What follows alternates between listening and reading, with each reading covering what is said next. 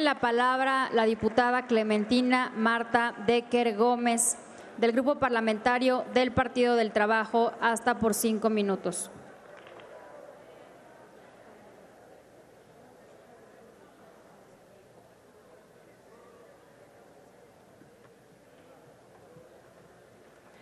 Buenas tardes, compañeras y compañeros. Con su venia, diputada presidenta. Adelante, diputada.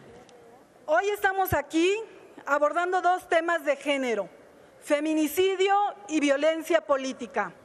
Este exhorto que se está realizando al gobierno del Estado, así como al presidente de la mesa directiva del Congreso local del Estado de Morelos, es por la violencia generada en contra de siete compañeras diputadas locales que hoy se encuentran aquí presentes.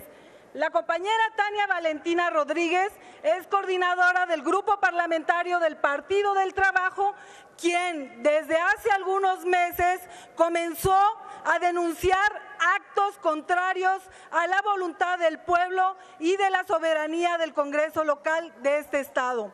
Derivada de estas denuncias, empezó a sufrir acoso, amenazas, las compañeras diputadas que se sumaron y que no estaban de acuerdo con situaciones que se dieron en el Congreso local por presiones del gobierno del Estado, Cuauhtémoc Blanco, aquí están y también han sido amenazadas. Generalmente, la ola feminicida comienza con el acoso, con el hostigamiento, con las amenazas y cruelmente terminan siendo asesinadas. Hoy las compañeras levantaron la voz por muchos ciudadanos y ciudadanas que no están de acuerdo con las políticas implementadas en el estado de Morelos.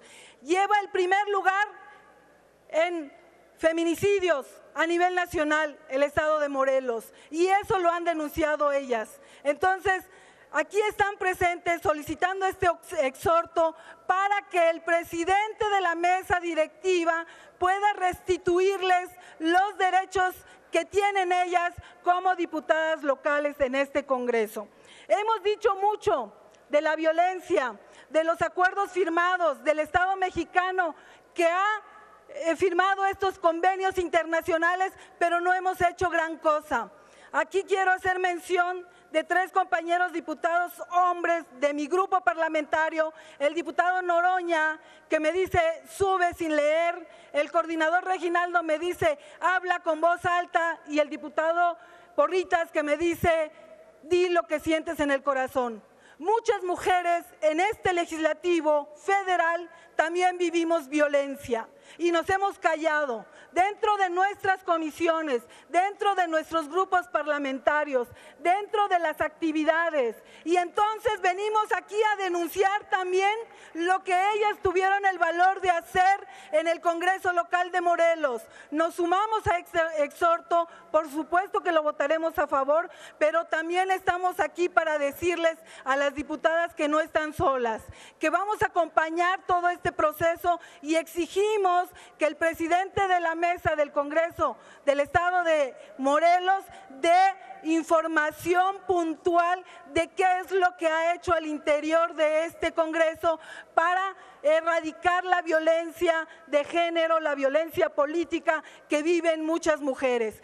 Fueron despedidas compañeras que eran parte de las comisiones donde ellas trabajaron, trabajaron. Les disminuyeron los sueldos, han sido expulsadas, son compañeras del PRD, de MC, de Morena y del PT, por supuesto, que están siendo violentadas. Hoy las mujeres legisladoras de la 64 legislatura de la paridad de género, con los compañeros sumados, estamos haciendo este exhorto y queremos pedirles también que le demos puntual vigilancia, que no quede nada más en un dicho, en unas hojas, en unas cuantas palabras y de subirnos a tribuna y decir que ya cumplimos. Cumpliremos cuando se empiece a erradicar esa violencia que vivimos las mujeres todos los días. Aquí estamos las legisladoras del PT, los legisladores de esta Cámara de Diputados Federales para defender estos derechos. No están solas y no queremos ni una menos, ni una menos muerta,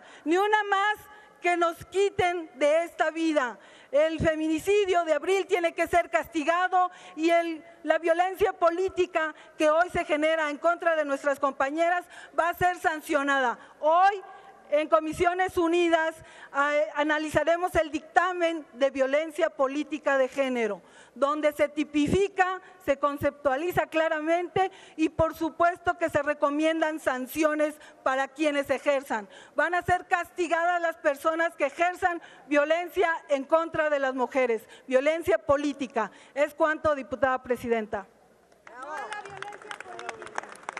Gracias, diputada. Tiene la palabra.